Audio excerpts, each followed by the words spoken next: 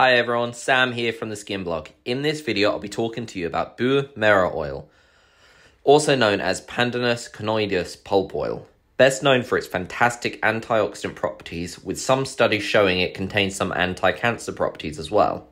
It's shown itself to be a fantastically rich oil for its red coloration that can stain if used in too high a concentration, the shelf life is between 24 and 36 months due to its high level of stable fatty acids and incredibly rich antioxidant capacity. There is a slight vegetative aroma though, but due to the minimal concentrations commonly used, it shouldn't affect your formulation's aroma. Its fatty acid profile makes it comedogenic with a factor of 3, which does pose a slight risk to clogging of pores, but its rich um, concentration of beta carotene should minimize this. The absorption rate is around average, so it's, it's not too bad though. Um, the iodine index is around 75, making it not heat sensitive, but due to its unique tocopherol content and beta carotene content, it will degrade significant, significantly in its benefits if heat is used upon it.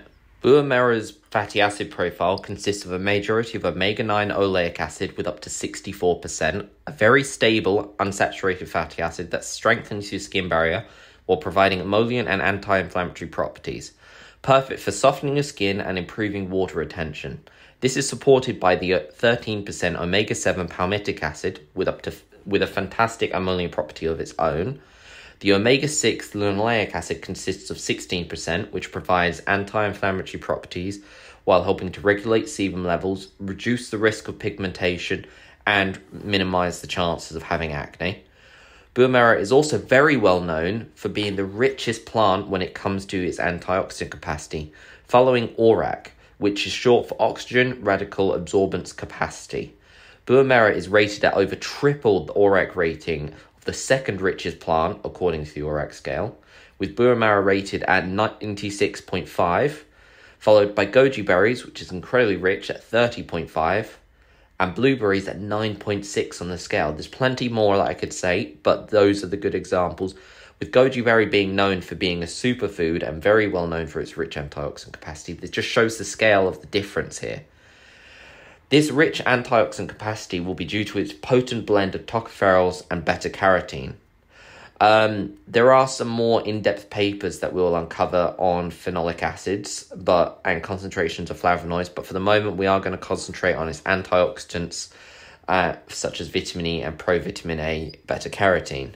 Buah Merah oil's tocopherol content is based around the 11,000 milligrams per liter, according to the paper below, with 550 milligrams of which being alpha tocopherol, known for being the more potent of the four tocopherol types all of which are vitamin E, by the way, just in case it wasn't made clear. It also strengthens your cellular membranes better, which supports the protection of your skin cells from UV damage. Sadly, there's only there are plenty of reputable sources stating how much tocopherol is within Buah Merah oil, but none of them go into depth about the rest of the tocopherol composition. We also found that Buah Merah oil contains up to 1003 milligrams of beta carotene per liter, which is best known for being um, called provitamin A, the precursor to retinol, and in turn trans-retinoic acid. Beta carotene is the primary compound causing Buah Merah to have such a strong red coloration that can stain your skin due to its um, at too high concentrations. Before any biotransference within your skin turning beta carotene into retinol, Beta carotene acts like vitamin E tocopherols for your skin, such as protecting cellular membranes from UV damage and cleansing your skin of free radicals.